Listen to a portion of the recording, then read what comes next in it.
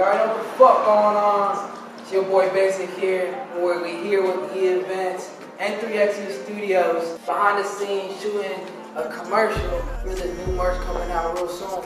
We out here. Man, if it's cozy, it's clean, man. You already mean desktop food. Aha. Twerks Giving, November 24th. I fuck with a Santa Clara Fairgrounds in the motherfucking Bay Area, you dig? Shout out to 3xE Studios.